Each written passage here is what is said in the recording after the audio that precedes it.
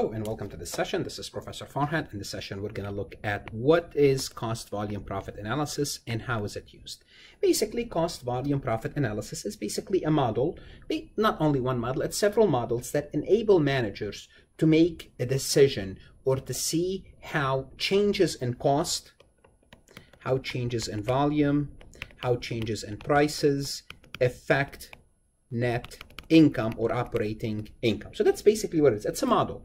So managers wants to know how profit will change as units sold or product or service change or cost change overall. Cost means fixed cost or variable cost. Okay? So it's managers like to use what if analysis. They want to know what if we change certain things, what would happen to our profitability? What are the possible outcomes of different decisions that they so they can make the best one. Now, cost volume profit uh, cost volume profit analysis Im implies that we know how costs behave. Remember, we have two type of cost behavior. We have variable cost and we have fixed cost. And also we have obviously mixed cost, which is part variable and part fixed. For the purpose of this analysis, we cannot use mixed cost, mixed cost. So for this purpose, our cost has to be variable or fixed. Now in the real world, most costs are mixed. So what do we need to do? We need to break the cost into a variable component and a fixed component, which we will see how we will we will see how we break down the mixed cost into a variable and a fixed component later on. But for the purpose of CVP, we're going to be working only with either a variable cost or a fixed cost. So I'm going to show you how to use this CVP formula, not how to break down mixed cost. That will be a separate, a separate recording. So let's go ahead and take a look at um, how we came up with this information. So I would like to show you the formulas. I'd like to derive the formula. Rather than show you the formula and explain it, I would like to derive the formula. This way you could always go back and derive the formula yourself. So let's go ahead and start with a simple equation that no one can argue with, and that's profit or operating income. Now, when I use profit, um, I can use also operating income. So if I set profit or operating income, so I'm just going to use, I'm going to put right here, operating income, and I'm going to abbreviate it as OI. Okay, so operating income or profit okay because sometimes they use operating income some in certain textbook they use profit equal to revenues minus expenses. And I hope no one can disagree with this statement. Let's uh, expand this formula a little bit. We can say operating income or profit, again, I'm just going to use operating income, equal to revenues minus, I'm going to break my expenses into variable cost and fixed cost. All what I did is I took expenses, and we know that expenses could be variable or it could be fixed, and I broke them down. Let me break this formula down a little bit further. I can say operating income or profit equal to revenue equal to the selling price SP. So I'm just going to abbreviate here. Selling price equal to SP. So SP times quantity. So how do you how do you determine your revenue? Well, I determine revenue by taking my selling price, multiplying it by my quantity. I will get my revenue. So selling price times quantity, that's equal to revenue. So I really did not change anything. All what I did is I broke down revenue. Then I can say variable cost, a uh, variable cost is also variable cost times quantity will give me the total variable cost and the fixed cost is fixed cost.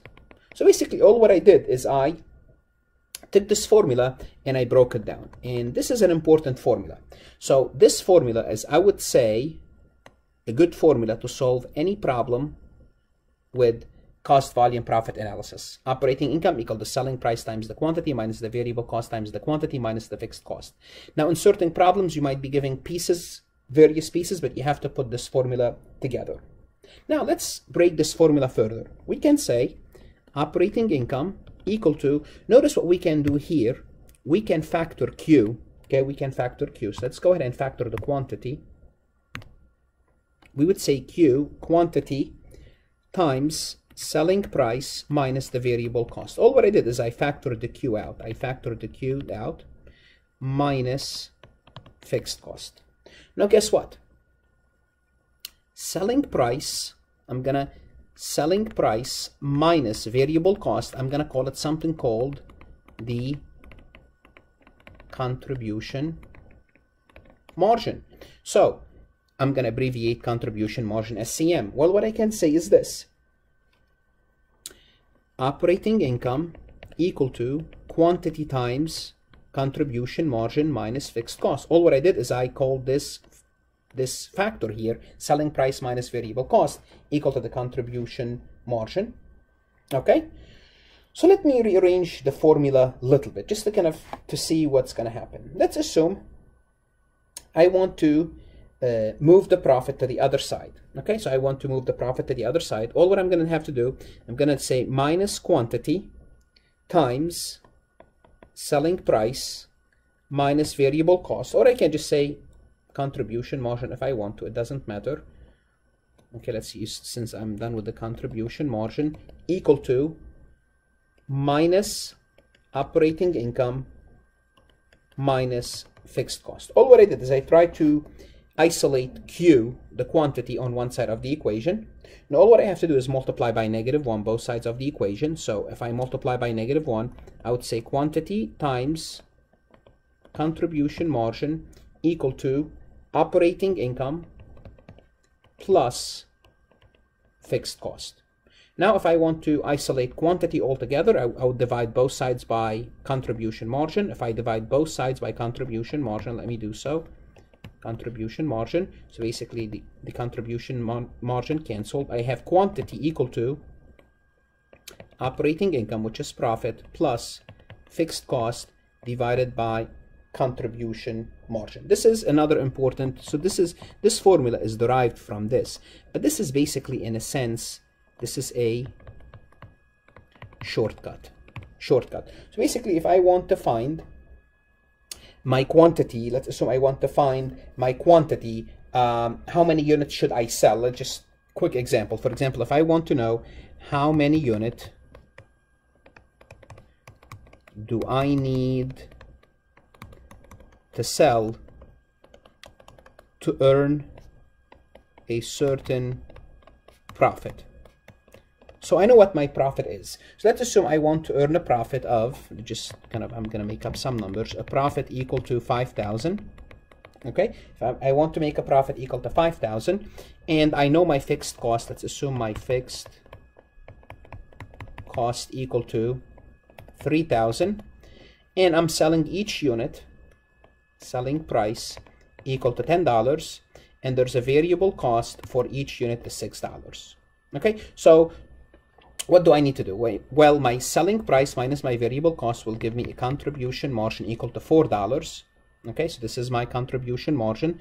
So in the denominator, I will have 4 my target profit i want to make $5000 of profits that's my my operating income i want to make a profit this much and i want to cover my fixed cost obviously my fixed cost is $3,000 now I can find how many units do I need to sell under those circumstances. So basically I have to take 8,000 divided by 4 let me just get pull my calculator out and perform this calculation real quick.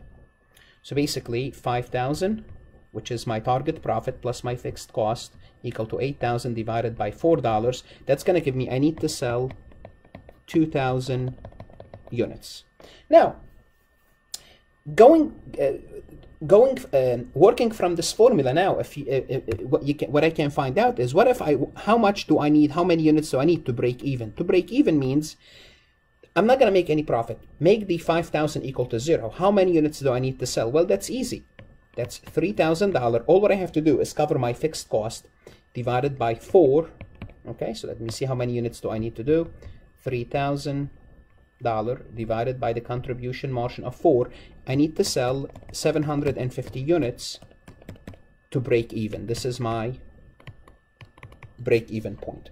So this is also another shortcut formula. If I want to find my break even points in terms of unit I take my fixed cost I divide it by contribution margin so this is how I'll find it now, if I want to find out what is my break even in dollar amount, all what I have to do is take the quantity, whatever the 750 in this situation, times the selling price will give me the break even in dollars. So in this situation, I said I'm going to sell 750 and the selling price is $10.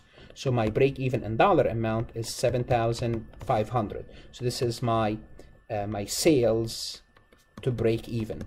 Now, all the numbers that I am plugging here, you could go back up here and use this formula here and you will see you'll get to exactly what you need to get. For example, if you need to get a break, break even of, what we, oh, if you want to get a profit of five, what was the profit, the first example I gave? The profit of 5,000, well, you could take the profit and fill this out and it will equal to 5,000, okay? Now there is an important concept here with the break-even point. I want, I, want to, I want you to see it in a, a picture or, or a graph type of thing.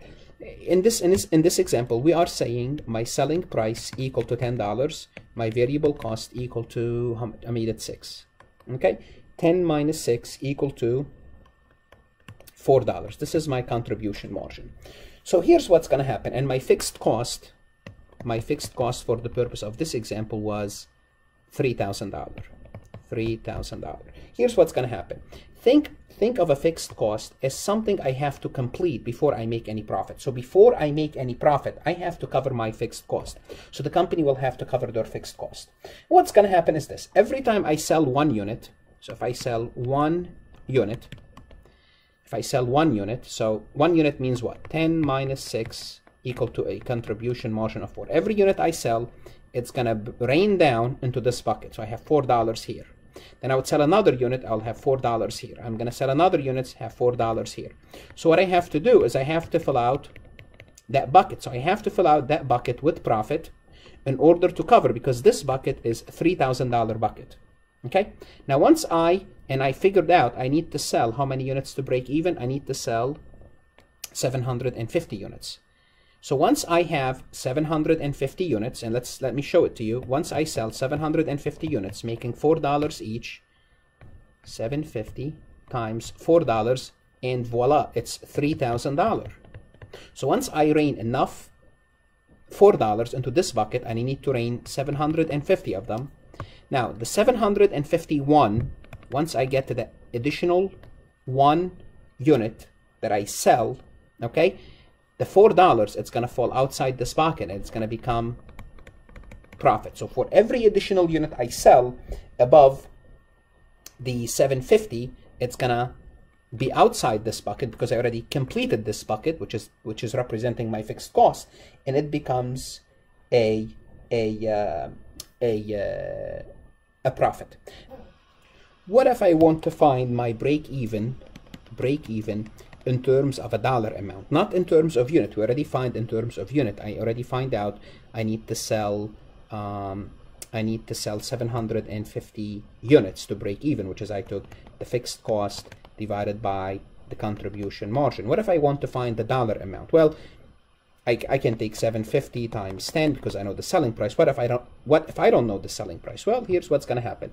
To find the break even in a dollar amount, you take your fixed cost divided by something called CM percentage or CM contribution margin. Now, how do you find your contribution margin percentage or contribution margin ratio?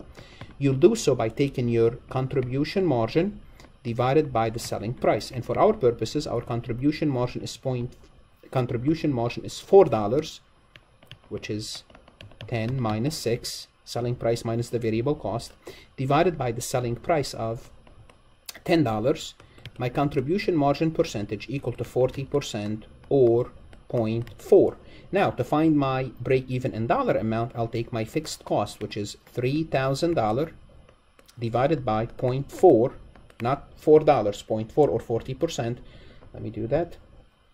3,000 divided by 0.4, that's 7,500. Yes, that's $7,500 amount, which confirms my initial my initial estimate, not, not my initial calculation, that I need 750 units times $10 will give you selling of 7,500. So the, to, to, to compute your break even in terms of sales, you need to sell 7,500 worth of goods in order to in order to uh, break even. Now, can you can can you can you confirm this? Can you confirm this? Well, let's see. Let's see if we can confirm this.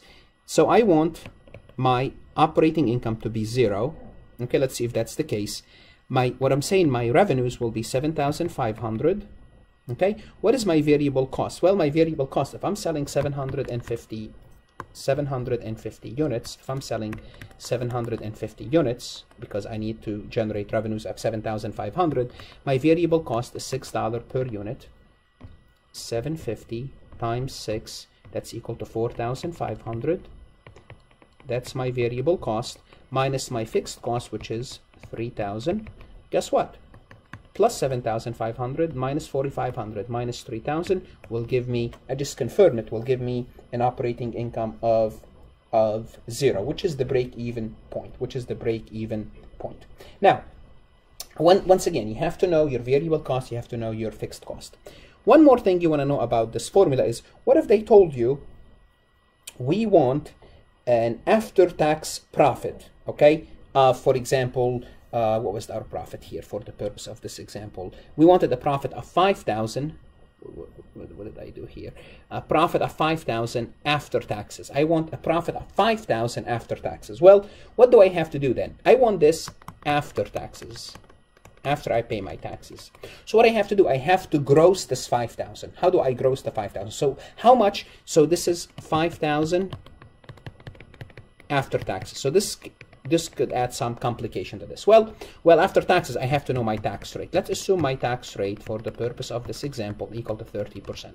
So what do I do? How do I find out my, how much do I need to, uh, what, what, what should my profit be before I pay the taxes? Okay. Well, if it's 5,000, then I have to take 5,000 divided by, which is 5,000 is target profit, which is, this is the, this is my, well, don't worry about this. 5,000 divided by 1 minus the tax rate.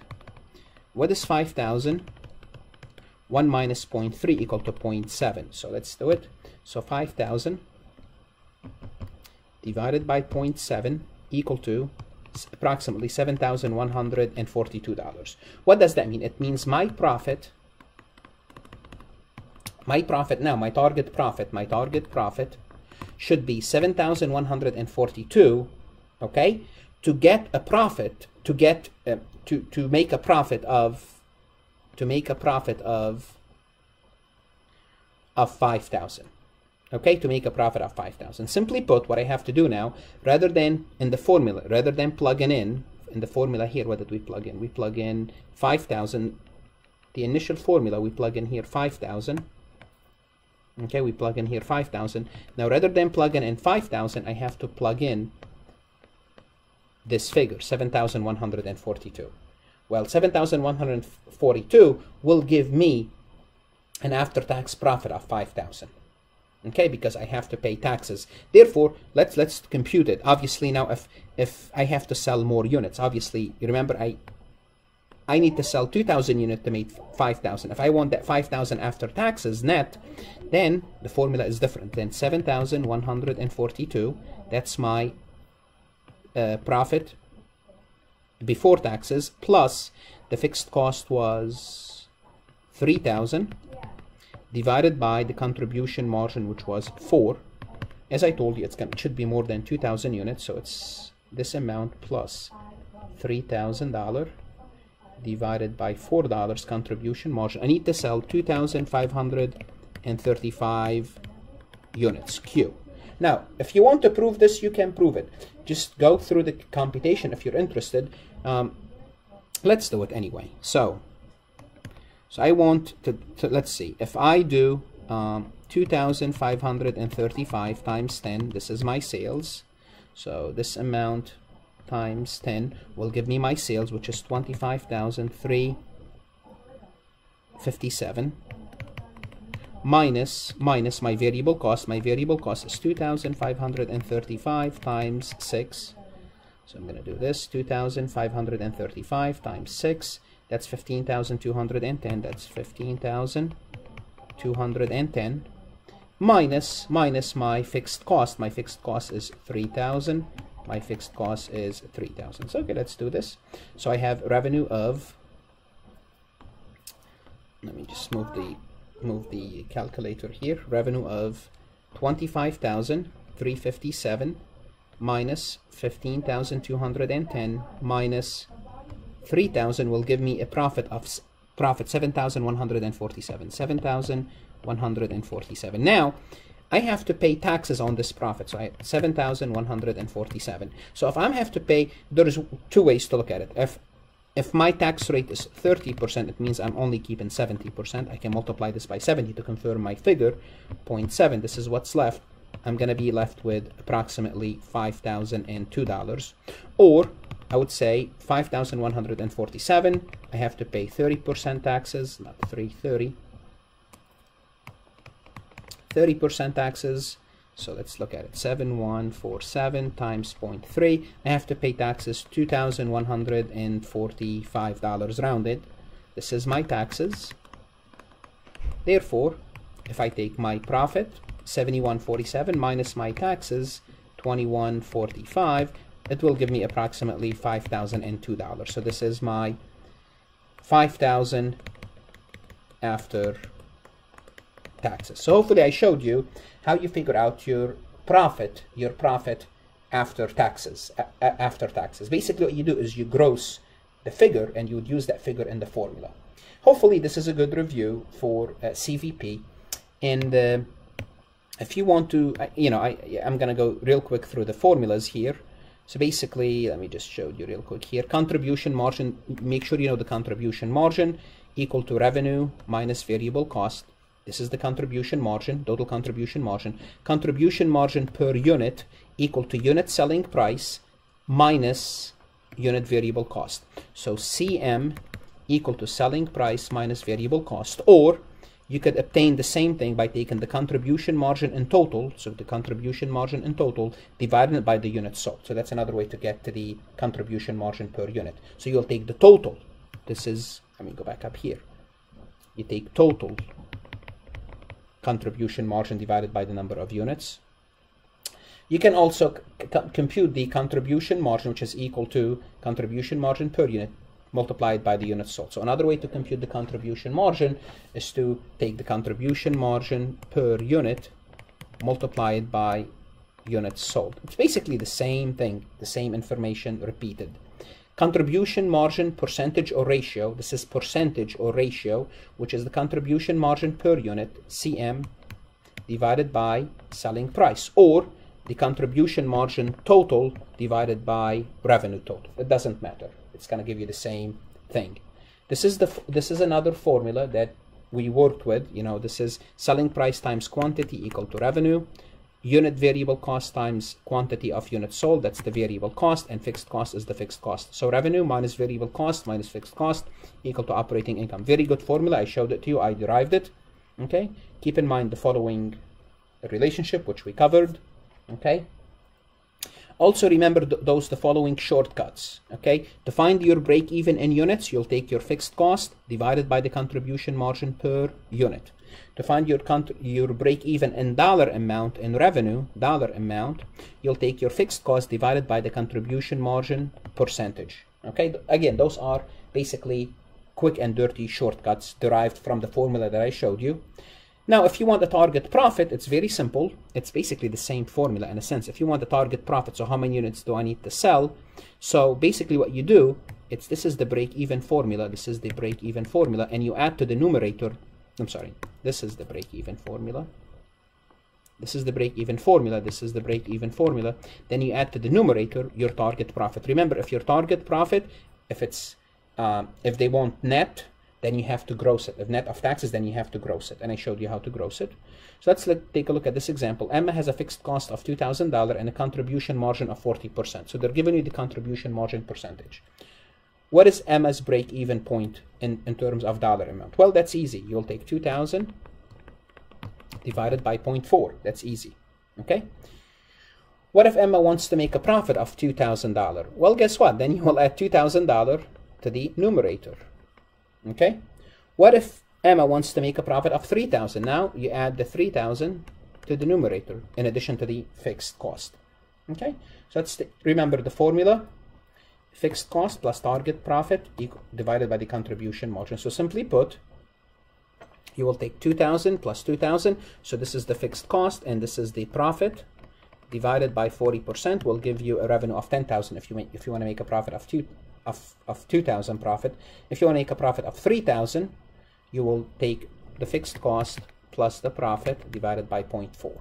Now again, the break-even point is you'll take 2,000 divided by 0.4 and you'll get your break-even, whatever that break-even is, which we're going to see it here. Your break-even, this is equal to 5,000. This is equal to, the break-even equal to 5,000. And this is CVP and a form, um, on a graph, so if you just want to take, you know, just go over it real quick.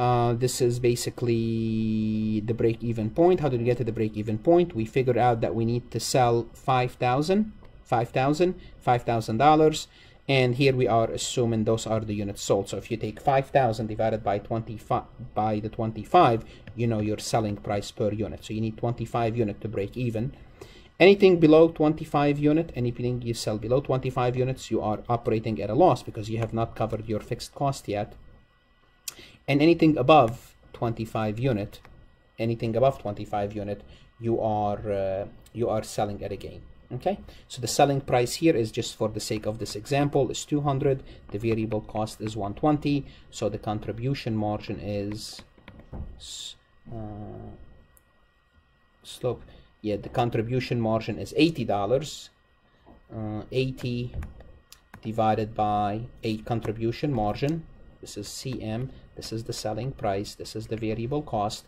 So if we take contribution margin divided by the selling price which is 200 will give us a 40% contribution margin okay? So this part here is the 2000 is the fixed cost okay? Then the variable cost that you need to recover to cover before you make any before you make any profit. So you before you make any uh, before you make your target profit whatever your target profit is the profit will start here above 25 units once again, remember how to gross the, uh, if you want to uh, gross the, uh, the target profit or the operating income, you'll take the income divided by the tax rate. Okay, so if they want you to make a profit of 5,000 net of tax, 5,000 net of tax, and the tax rate is 30%, it means you'll take 5,000 divided by 0.7, and whatever that answer is I showed you earlier, this will be your gross. So you'll have to your operating income will have to be more than let me just do the do the number one more time compute it one more time this way. You have it in case you just forgot about it. Let me get my calculator. So 5000 so I need to gross it divided by 0.7 which is $7,142 therefore this is the revenue that I need or this is the profit that I need in order to get a net profit of 5,000 net of tax. Okay. Hopefully this is a good uh, introduction of CVP cost volume profit analysis. If you have any questions, any comments, by all means email me or see me in class. If you're studying for your CPA or CMA exam, by all means study hard. It's worth it.